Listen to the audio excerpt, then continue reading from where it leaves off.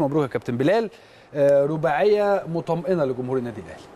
آه الحمد لله مطمئنة.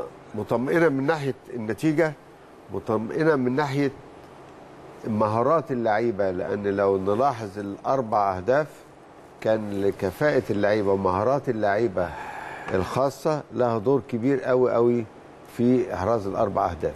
يعني من بداية ضربة الجزاء اللي اتحسبت والثلاث أهداف التانيين بصمات ومهارة اللاعب هي اللي كان لها دور أو الكلمة العليا أكتر من الأداء اللي هو نقدر نقول عليه جماعي الجماعي. لكن نقدر مهارة لعيب مهارة لعيب في تمرير مهارة لعيب في استخلاص كرة مهارة لعيب في إنهاء هجمة هي دي اللي كان لها دور. فدي حاجة بتطمنا. النتيجة آه، اتعرفت. عندنا اللي جاي إن شاء الله بإذن الله آه، يكون لنا آه، فكر آخر في انك هتلاعب خصم آه، اشرس من اللي إحنا لعبناه النهارده.